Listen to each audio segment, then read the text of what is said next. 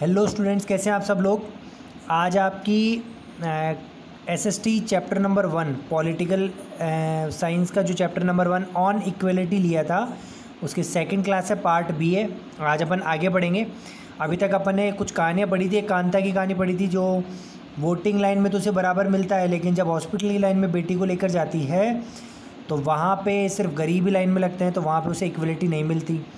और ऐसे ही एक अपन एक राइटर था ओम प्रकाश उसकी कहानी पढ़ी थी कि कैसे स्कूल में वो दलित था निचली जाति का था इसलिए स्कूल में उससे सफ़ाई करवाते थे और आ, मारते पीटते थे ठीक है? और उस जहाँ पे भी वो बैठ जाता था वहाँ पे कोई बैठता नहीं था सब उससे दूर रहते थे ठीक है? ये दो कहानियाँ पढ़ी थी, थी।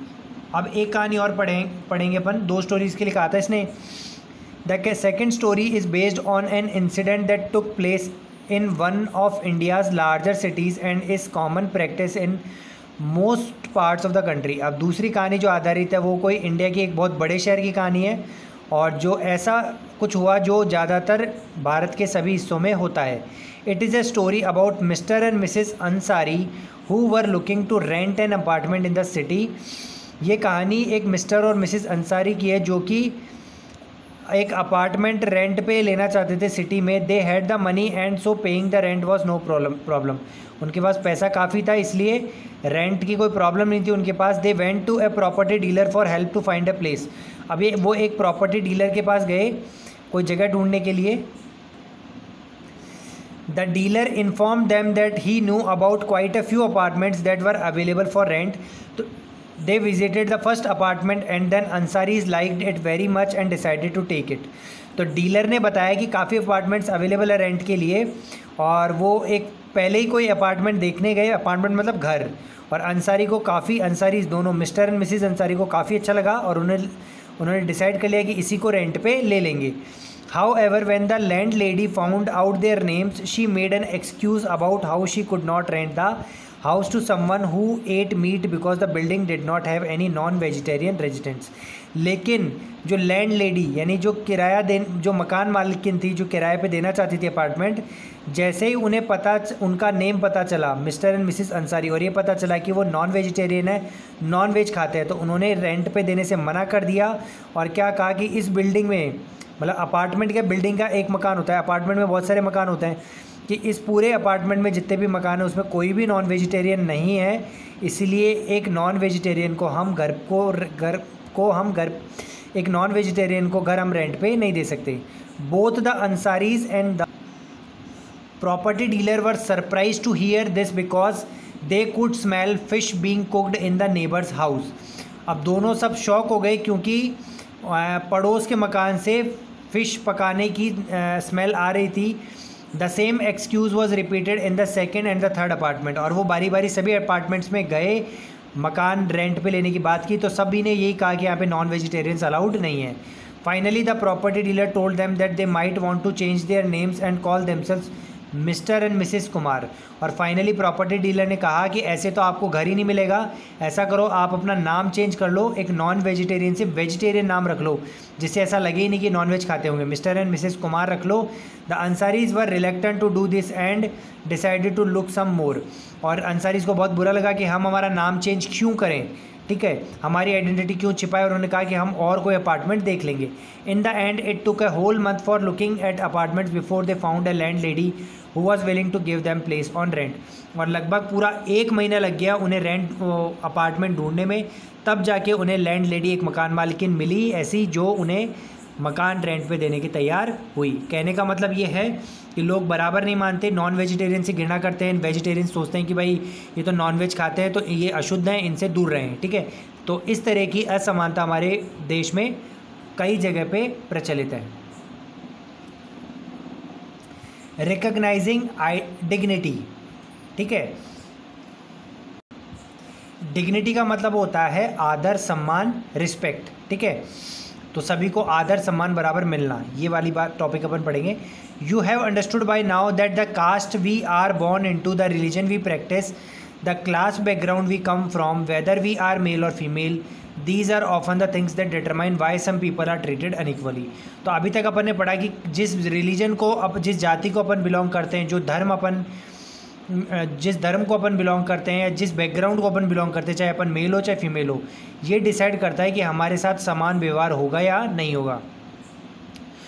अगर हम निचली जाति को बिलोंग करेंगे तो समान व्यवहार नहीं होगा और अपन हाई कास्ट पैसे वाले, ऊँची जाति के लोग होंगे तो हमारे साथ समान व्यवहार होगा। ऐसा होता है।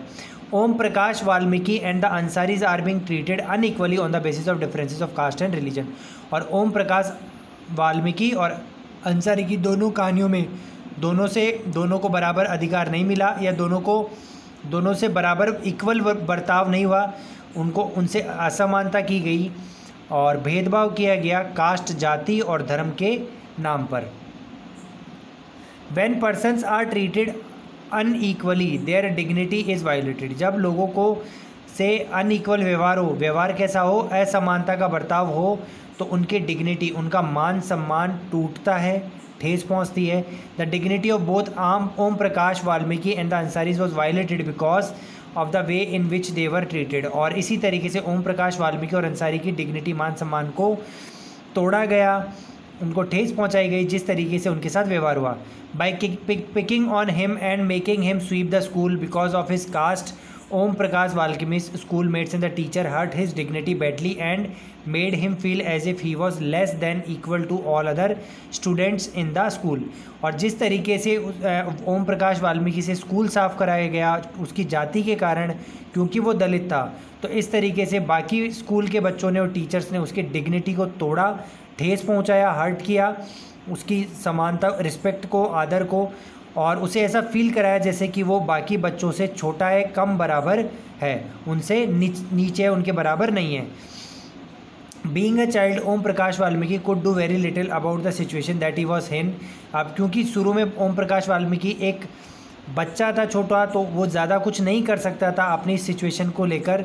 It was his father who on seeing his son sweep felt angry by this unequal treatment and confronted the teachers लेकिन उसके पिताजी ने जब देखा तो वो काफ़ी गुस्सा हुए और इस असमान बर्ताव के कारण और टीचर्स को आड़े आतो लिया मतलब टीचर्स को डांट फटकार लगाई और उन्हें कहा कि आप ऐसा नहीं कर सकते। The Ansaris' dignity was also hurt when the person refuse to lease their apartment to them और अंसारी इसके मान सम्मान को भी ठेस पहुँची जब लोगों ने मना कर दिया उन्हें अपार्टमेंट किराए पर देने के लिए। However when the property dealer suggested that they change their name it was their dignity और self respect that made them refuse this suggestion और जब डीलर ने कहा कि आप अपना नाम चेंज कर लो तो उनका सम्मान, आदर सेल्फ रेस्पेक्ट रेस्पेक्ट आत्मसम्मान ही था। जो जिसके कारण उन्होंने मना कर दिया कि हम हमारा नाम नहीं बदलेंगे। Om Prakash and the Ansaris do not deserve to be treated like this. Om Prakash और अंसारीज को ऐसा बर्ताव होना, ये उन्हें, उनके साथ ऐसा नहीं होना चाहिए था। They deserve the same respect and dignity as anyone else उनको, उनका मान सम्मान और आदर उनके साथ वैसा ही होना चाहिए जैसा बाकी लोगों के साथ होता है। ठीक है? अब बात करते हैं इक्वलिटी इन इंडियन डेमोक्रेसी भारतीय लोकतंत्र में समानता, लोकतंत्र, यानी हमारे देश का संविधान हमें कैसे समान बनाता है, वो चीज़ देखते हैं। The Indian constitution recognize every person as equal Bharat का संविधान सभी को बराबर मानता है। This means that every individual in the country including male and female person from all caste religions tribes educational and economic background are recognize as equal और इसका मतलब है कि हर इंसान देश का हर इंसान चाहे वो मेल हो चाहे स्त्री हो चाहे पुरुष हो किसी भी कास्ट किसी भी मतलब जाति धर्म किसी भी कम्युनिटी किसी भी कम्युनिटी किसी भी आ, संस्था से या किसी भी बैकग्राउंड से चाहे वो गरीब हो चाहे अमीर हो बिलोंग करता हो सब बराबर है। This is not to say that inequality ceases to exist इसका मतलब ये नहीं है कि भाई इनक्वलिटी असमानता हमारे देश में अगर संविधान ने कह दिया तो कोई असमानता है ही नहीं हमारे देश में। इट डजेंट ऐसा नहीं है ऐसा कई जगह पे असमानता है। But at least in democratic India the principle of the equality of all person is recognize लेकिन कहने के तौर पर लोकतंत्र भारत में सभी को बराबर माना गया है। While earlier no law existed to protect people from discrimination and ill treatment लेकिन आज़ादी से पहले जब संविधान नहीं बना तो कोई ऐसा कानून ही नहीं था जो लोगों को भेदभाव और गलत बर्ताव से बचा सके। Now there are several that work to see that people are treated with dignity and as equal लेकिन अब आजकल ऐसा हो गया है, शिक्षा बढ़ रही है संविधान ने कानून बना दिया थी कि लोगों के साथ बराबर आदर, पूरे सम्मान के साथ बराबर लोगों को माना जाता है। This recognition of equality include some of the following provisions in the constitution और ऐसा भारत को मतलब सभी को बराबर जो माना गया है, उसके कुछ कारण है संविधान में जो दिए गए हैं। First that every person is equal before the law पहला कि कानून के सामने सब बराबर हैं। What is this means that every person from the president of the country to Kanta a domestic worker has to obey the same laws इसका मतलब कि चाहे देश का राष्ट्रपति हो, चाहे एक छोटी सी वर्कर जिसकी कहानी अपने पड़ी कांता वो क्यों ना हो? सभी को सेम नियम मानने पड़ेंगे। Second no person can be discriminated against on the basis of their religion race caste place of birth और वेदर दे आर फीमेल और मेल और किसी भी व्यक्ति से कोई भेदभाव नहीं हो सकता उनके धर्म के आधार पर, जाति के आधार आधार पर, ठीक है? और उनकी जगह, जहाँ पे वो जन्मे उसके आधार पर, चाहे वो मेल हो या फीमेल हो, किसी के साथ कोई भेदभाव नहीं हो सकता। Third every person has access to all public places including playground hotel shop and markets और हर व्यक्ति, पब्लिक जो प्रॉपर्टी है, हर जगह पे जा सकता है, जैसे ग्राउंड प्ले ग्राउंड हुआ, होटल हुई, शॉप्स हुई, मार्केट हुई, सब लोगों को जाने का अधिकार है, किसी लोगों को वहाँ जाने से रोका नहीं जा सकता। All persons can use publicly available wells roads bathing gate ghats सभी लोग जो पब्लिकली जो चीज़ काम में ली जाती है, जैसे कोई अगर कुआँ काम में लिया जाता है, रोड काम में ली जाती है, या फिर घाट जहाँ पे स्नान किए जाते हैं, कोई भी धर्म का कोई भी लोग वहाँ पे जाके काम में ले सकता है। Fourth untouchability has been abolished और चौथा संविधान में सबसे बड़ी बात क्या हुई? छुआछूत कि जो कहते थे भाई, इसको मत छुओ अपवित्र हो जाओगे। तो उस अनटचेबिलिटी को नष्ट कर दिया गया, उसको एक अपराध बता दिया गया है। तो हमारे संविधान ने ये काम करके समान अधिकार लाने की तरफ़ मतलब समान लोगों को अधिकार दिए हैं और लोगों में बराबरता बराबरता, समानता लाने की कोशिश इक्वलिटी लाने की कोशिश की है।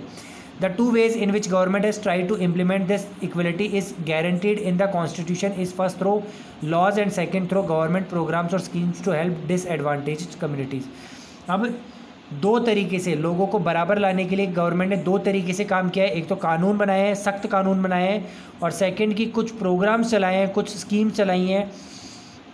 जिससे गरीब, जो लोग जिनके साथ भेदभाव हुआ है, उनको वापस ऊपर उठाकर जो ऊँचे लोग हैं, उनके बराबर लाया जा सके।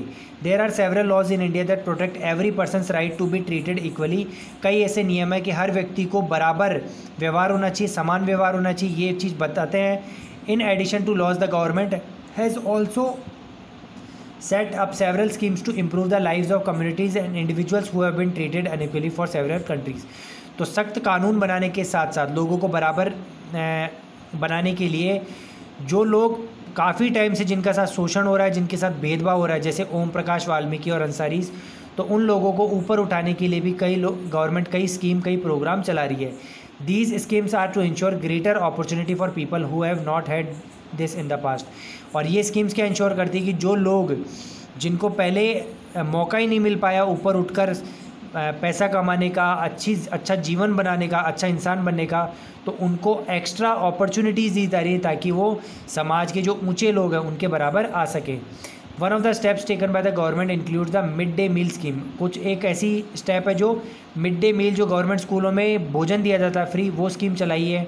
This refers to the program introduced in all government elementary schools to provide children with cooked lunch.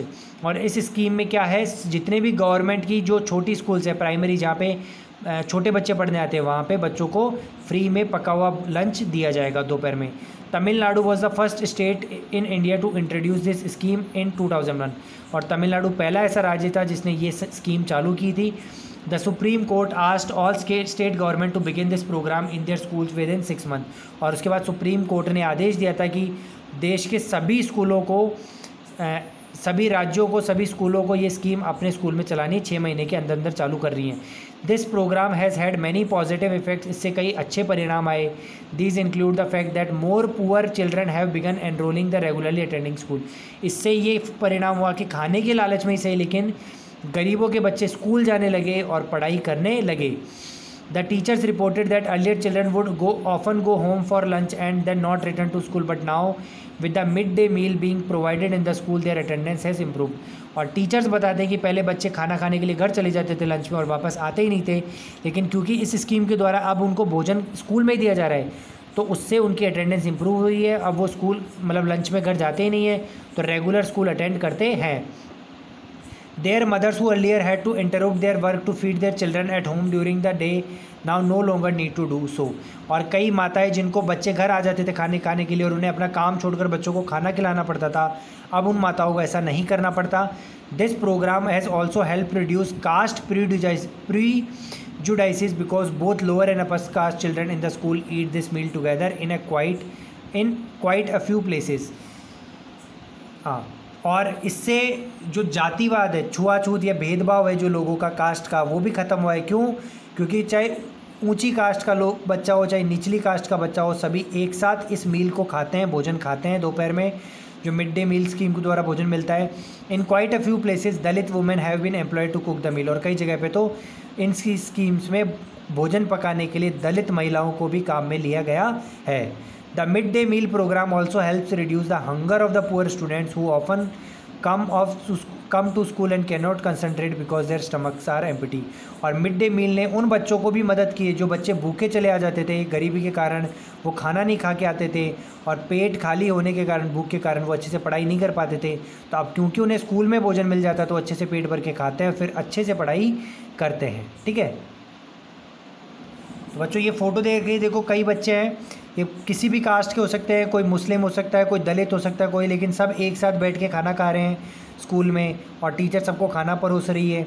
तो ये मिड डे मील प्रोग्राम चलाया जिससे काफ़ी सम, लोगों में, कम से कम बच्चों में समानता लाने में काफ़ी मदद हुई और बच्चों को भूख से भी निजात मिली और पढ़ाई भी अच्छे से हो पाई। तो बच्चों, आज के लिए इतना ही।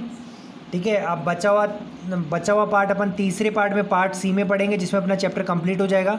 मुझे उम्मीद है आपको दोनों पार्ट समझ में आए अभी तक ए और बी और वीडियो को लाइक कीजिए कमेंट कीजिए चैनल को सब्सक्राइब कीजिए। पढ़ते रहिए। Thank you have nice day